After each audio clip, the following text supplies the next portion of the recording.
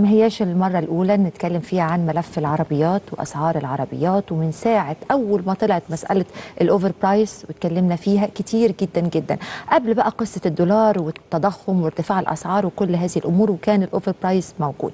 جت قصة الدولار تضاعفت الأسعار وضاعف معاها كمان ال over price طيب دلوقتي الدنيا المفترض إنها هديت وأسعار حاجات كتيرة قوي حاجات أساسية وأكل وشرب وكل ما له علاقة بالدولار والغير الدولار كمان بدأت الدنيا تنزل. طيب العربيات هتنزل ولا إيه؟ والنزول هيبقى شكله عامل إزاي؟ ونسبته قد إيه؟ وهل حقيقي كمان إنه اللي نزل في أسعار العربيات في الفترة الأخيرة ما هوش نزول حقيقي؟ بمعنى إنه التاجر نزل في قيمة ال over price بتاعه يعني مش في العربية نفسها مش اللي هو اشترى بيها إن طبعا كان المسألة مبالغ فيها قوي. زي ما ضربت حضراتكم مثل لما تبقى سعر العربية قول 200 وتوصل لمليون ده كله ده دولار ولا في جانب منه غير مفهوم وربح غير عادل؟ هنفهم في ونتكلم في تفاصيل الملف ده مع سياده المستشار أسامة أبو المجد نائب رئيس شعبة السيارات بالغرفة التجارية. أهلا وسهلا بحضرتك يا أستاذ اسامه منور الدنيا. أهلا وسهلا حضرتك يا فندم. آه بص يا أسامة الموضوع محتاج تفاصيل كتير جدا. ومحتاج مصداقية وصراحة لأنه إحنا شايفين الحالة في السوق ما بين اللي بيشتري بدون مبرر وبدون داعي برغم المبالغة في الأسعار وإنه في أزمة والناس بتتكالب على الشراء كأنه خايفين الدنيا تغلى أكتر وما بين إن في ناس دول قادرين. في ناس بقى واقفة عاجزة ولا قادرة لا تبيع ولا تشتري ومش شايفة بكرة هيبقى فيه إيه. فعايزين نشرح ببساطة كده فهمنا الدنيا ماشية إزاي وبصراحة. تمام. الوقت الحالي وقت مهم جدا. مم. الوقت الحالي حان الوقت الدكتور يرجع دكتور المهندس يرجع مهندس المحامي يرجع محامي وبتاع العربيات يرجع يبيع عربيات تمام. ماشي؟ ماشي. لأن طبعا الفترة الأخيرة دي إحنا شاهدنا لاول مرة المستهلك التاجر. آه. المستهلك التاجر. آه. شفنا المستهلك التاجر ده في الدولار شفنا المستهلك التاجر ده في الذهب شفنا المستهلك التاجر ده بقوة في السيارات. ناس النهارده بتستثمر في السيارات بيروح يحجز عربيات آه، من التوكيل أو بيشتريها من السوق ويخزن العربية واثنين وثلاثه وأربعة. وأنا شاهدت ده يمكن اتكلمت عنه في حلقات كتيرة جدا. ظاهرة المستهلك التاجر اللي لا بيدفع ضرائب ولا مشغل موظفين ولا عماله ولا كهرباء ولا ولا ولا أي حاجة في الدنيا. ده راجل النهارده بيتهرب من كل الالتزامات المالية اللي بيتحملها التاجر التاجر اللي بيشتغل شغلانة شريفة جدا وبيشغل عنده موظفين وفاتح آه، أماكن مختلفة ويجي النهارده حد يتزاحم معاه في الحتة دي دي ظاهرة غلط. الظاهرة الغلط دي بتسبب وضع غلط وتسبب ارتفاع في أسعار السيارات لأن هو بيخزن وبيبيع ما كانش يحط أرقام معينة طب التاجر لما بيحط الأرقام دي بيحطها عشان عنده مصروفات. انت بتحط الأرقام ديت وانت ما عندكش مصروفات. حصل نفس الكلام ده في الظاهرة الغير مبررة لما تحول الدولار للسلعه والناس النهارده بقت تاخد دولار والتاجر في الدولار والدولار ده بقى في البيوت. حصل الكلام ده في الذهب لما الناس النهارده ما بقتش تشتري من محلات الذهب وبيحصل في تجارة في الذهب.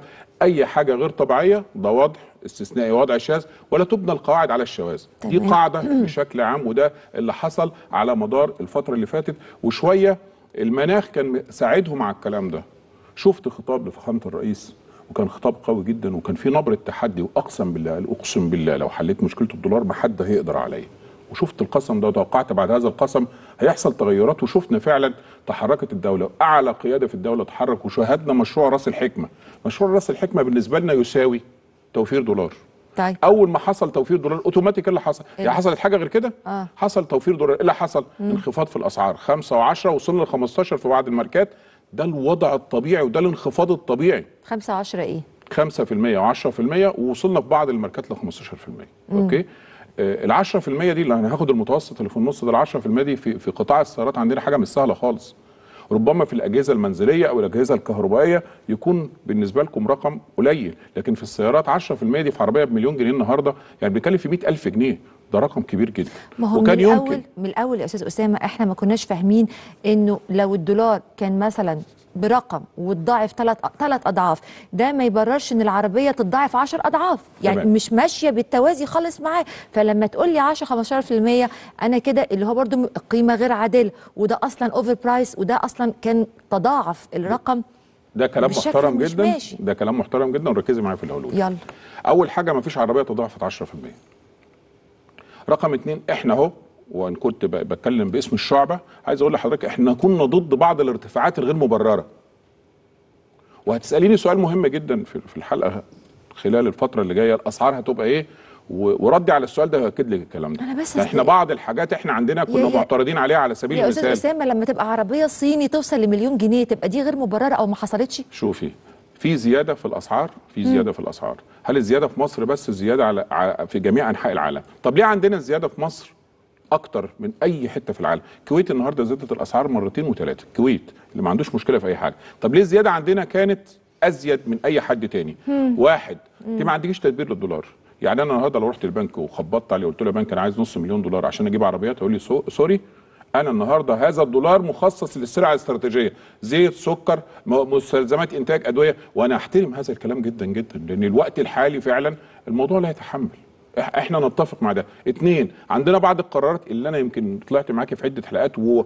وفي عشرات القنوات الفضائية بيقولوا يا جماعة لو سمحتم راجعوا القرارات اللي أكل عليها الدهر وشرب.